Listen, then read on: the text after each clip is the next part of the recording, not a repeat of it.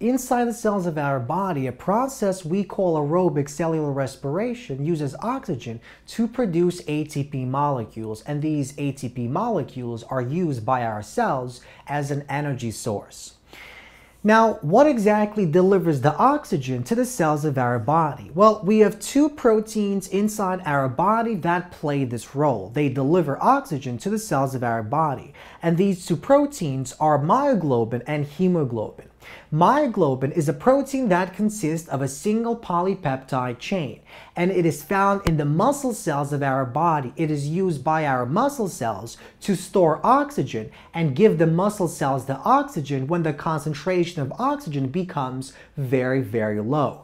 On the other hand, hemoglobin is a protein that consists of four individual polypeptide chains. We have alpha 1 and alpha 2, which are two identical alpha chains, and we have beta 1 and beta 2 subunits, which are also identical subunits. And so these four polypeptide chains give the hemoglobin molecule quaternary structure, and that's exactly what gives that hemoglobin the ability to bind oxygen cooperatively, and we'll see what that means in the next lecture. So what hemoglobin does is it essentially continually delivers the oxygen from the lungs and to the tissues and cells of our body. And it also binds CO2 and brings the carbon dioxide back to the lungs so that the carbon dioxide can be expelled by our body. Now, in this lecture, what I'd like to focus on is how these two proteins actually are capable of binding to oxygen in the first place. So these two proteins contain a special prosthetic group known as the heme group that assists the protein in actually binding the oxygen. And the heme group has the following structure.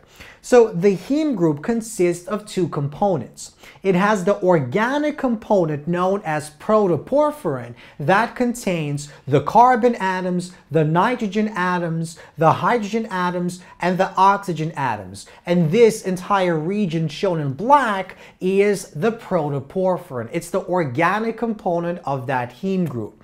Now, at the center of that protoporphyrin is an inorganic atom, a metal atom, the iron atom and this is what makes up the inorganic component of that heme group.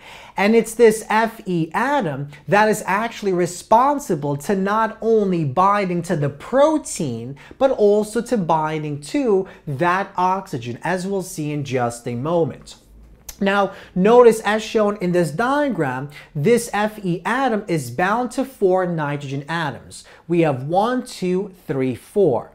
Now, Fe can have an oxidation state of positive 6. And in this particular case, because we have four bonds, what that means is this Fe is in its ferrous state. And what that means is it has a state, an oxidation number of positive 2.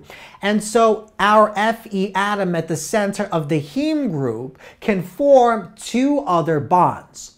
Now, one of the bond is formed between one of the amino acids of that polypeptide chain. And this is shown in the following diagram. So if we take the heme group and we flip it this way, so if the heme group lies on the plane of the board and we take it and we flip it this way, then at the bottom portion of that heme group, we have an amino acid more specifically we have a histidine amino acid that is part of the protein, either myoglobin or that hemoglobin that is bound onto that Fe atom. So this purple circle is the Fe atom, the green circle are the nitrogen atoms, the blue circles are the oxygen atoms, and the purple circle is that metal atom, that Fe atom.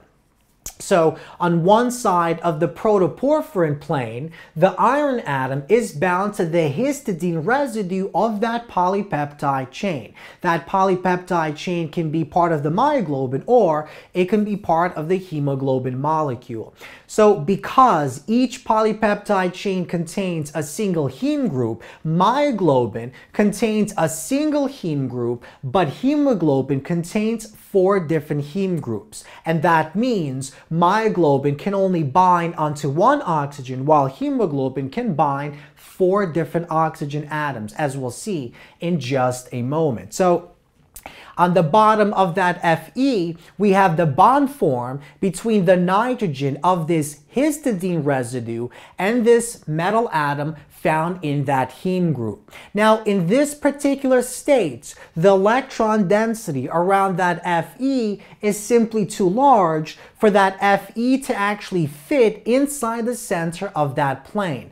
And that's exactly why this Fe atom will be found slightly below the protoporphyrin plane as shown in the following diagram. So in deoxyhemoglobin or deoxymyoglobin, when the protein is not bound to the oxygen, the iron atom remains unbound to oxygen. And in this case, the Fe metal atom is simply too large. It has too large of an electron density around that proton nucleus for that entire metal atom to actually fit snugly in the center of that protoporphyrin. And so what that means is this Fe atom will be found slightly below. Now, in this particular case, this Fe atom has one, two, three, four, five bonds. And what that means is it can form one more bond with some other atom.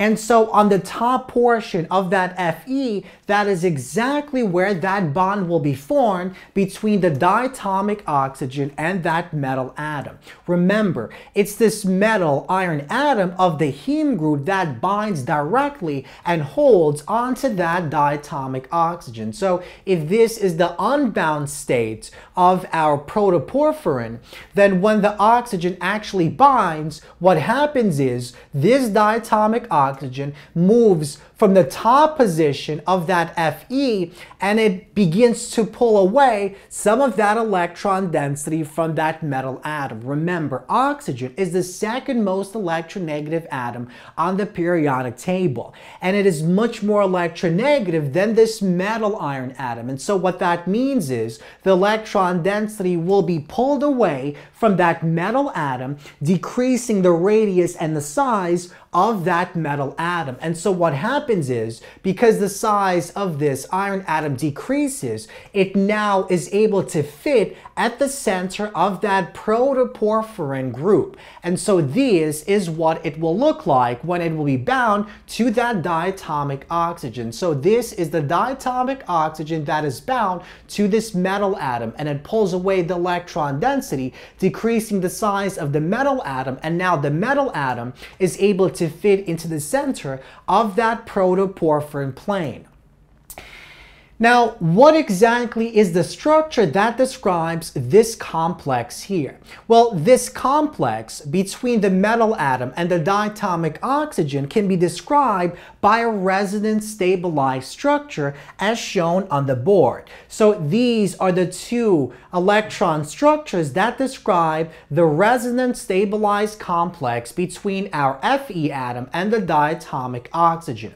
So on this side, on this electron configuration, we have a dioxygen that contains a neutral charge, and we have the iron that contains a positive two, a positive two charge, so it is in its ferrous state. But what happens is, because the dioxygen, because the diatomic oxygen consists of these two electronegative atoms, they can pull away an electron readily from that ferrous atom and create a ferric ion that contains a positive 3 charge. And so one of the electrons will be pulled away from the metal atom and onto the oxygen, giving this diatomic oxygen a negative charge. And this is called a superoxide ion.